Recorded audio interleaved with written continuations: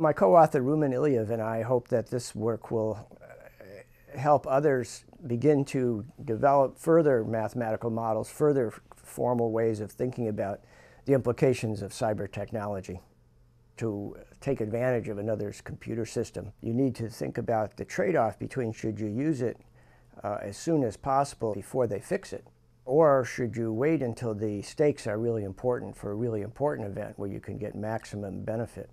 This uh, paper is an effort to begin to make a, a, a small step toward understanding the strategic implications of cyber technology. We have a little mathematical model that helps you uh, make that calculation. We employ two new concepts, what we call stealth and persistence. So an example of, of stealth, the American and Israeli attack on the Iranian centrifuges called Stuxnet sped up and slowed down the centrifuges of the Iranian nuclear program.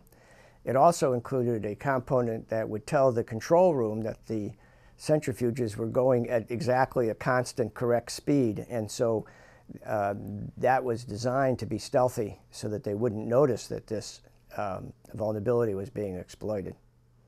Persistence is the idea that if you um, if you don't use it, they might, it'll take a long time for them to discover, and therefore you can wait until the stakes are very large before you use it. Even in common pieces of software like internet browsers, when uh, vulnerabilities are discovered and, and corrected, it's often found that it's, they've been there for months and sometimes even years. And that demonstrates that those kind of vulnerabilities are pretty persistent. And these two uh, characteristics determine when's the best time to exploit a resource for surprise.